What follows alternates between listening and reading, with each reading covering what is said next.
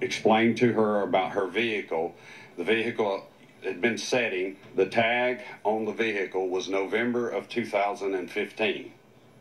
Okay. We got it in 17, so the vehicle has been inoperable for two, For two years. Is that accurate that it was inoperable for two years? It was inoperable for for a year. I For how long? For a year. Well, you had an Yeah. expired tag for two years. Yeah. Or you're Or driving was- around with an expired tag No, for a whole year? it could've been- right, so anyway, go been- on. But you Yeah. say to her, So, and on top of that, I told her, uh, she begins cussing and swearing and blessing us out. What does she say? I'm not spending another dime on this car.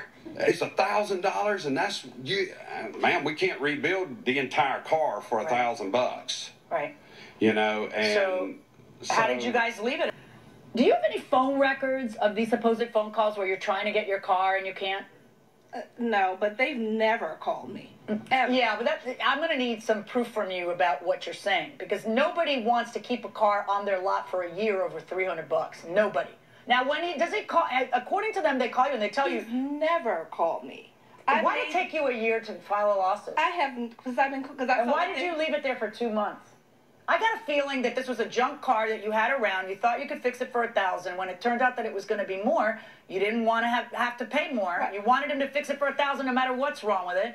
And even if there's wanted- something else wrong with it besides the transmission, but his deal with you was to fix it for a thou fix the transmission for a thousand. Right. As Soon as he like- warns you that there's something else wrong with the car, the car's not worth picking up He for never you. warned me anything. Because it's not normal to leave a car somewhere for a year over three hundred dollars. Yeah, based on the facts that I am listening to and the lack of any supporting documentation on your part, and you're the person with the burden of proof, um, I cannot find in your favor that they owe you five grand. Um, no, your version of facts. Um, not only does your lawsuit not make sense to me, but your version of facts don't make sense to me because so much time has passed. Now he has a counterclaim against you now for three hundred dollars. So here's what's going to happen. You are well within your rights. Well, not now, because now we're in a well within your rights in the statutory um, time frame of your state to go ahead and declare it abandoned when it's been there for that long.